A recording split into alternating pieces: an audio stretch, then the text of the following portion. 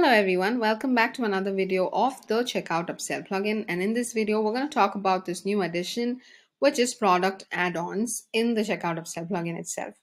This is again a great way to boost your average order value. This campaign allows you to easily add compatible or similar products to your product page with attractive bargains, price reductions and personalized recommendations. It's a win win situation, enhancing your shopping journey and fulfilling all the customer's requirements. Now, let me show you how to create this. For this, we're going to go to the Checkout Upsell plugins dashboard to the campaigns tab and start by creating a new campaign. To create a new campaign, we're going to click on this create new campaign button and select the campaign type. The campaign type for this particular video is going to be product add-ons. So click on product add-ons and you'll be able to create one. Now let's start off by entering the title. I'm going to call this product add-ons testing. Right. After entering a suitable title, you'll be able to notice the filters. Here you could choose the add-ons to appear for all products or for specific products or for specific categories. So whatever you choose here, those products will have the add-ons displayed on the product pages. I'm going to select a specific product this time for our easy understanding and click on add filter and choose the product under which this particular add-on product will appear.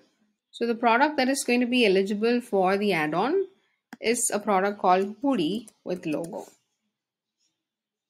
Nice. So after you select the eligible product here, you can move on to the next step, which is to choose the product suggestion method for this campaign.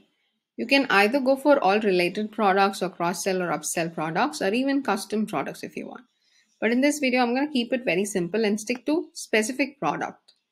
So if a customer visits this hoodie with logos product page, they'll be also able to see a specific product kept or displayed as an add-on product.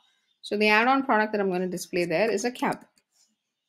So let me search for cap here and enter cap. You can also add more products if you want here. I'll just stick for only one product. All right. Next comes allow customers to remove add-ons from cart. So if this option is selected, then customers will be able to remove the add-ons from the cart if they need. Next comes the cart item quantity field. This is applicable for the add-on product that we have mentioned here. So if you click on this drop-down, you'll be able to notice different options such as allow customer to change quantity, meaning customers will be given an opportunity to increase or decrease the quantities of this add-on product that they have seen. Next comes sync quantity with parent product. So this goes along with the parent product quantity that they have selected, which in this case is the hoodie with logo. Next comes the fixed quantity, which means a fixed quantity for this particular add-on product. Next comes the display location on product page. Right now it's before add to cart button. You can also push it to after add to cart button if you want.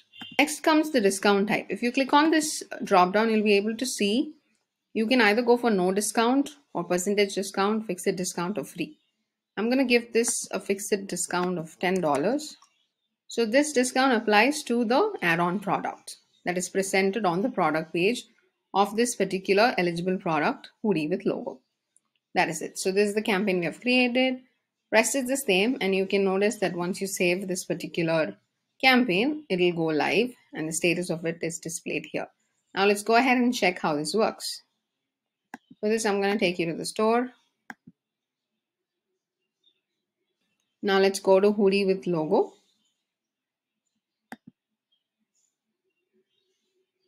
So in the product detail page, you'll be able to see this add-on product that is presented with a discount of $10 as we have configured. Now all that customers need to do is click on this add-on. You can see the change in the total price and click on add to cart. This will get both the parent and the add-on product added to the cart. And you can notice the badges here. Nice, isn't it? Amazing, isn't it? Give it a try and see the difference it can make. I'm sure this is going to be very helpful. And thank you so much for watching.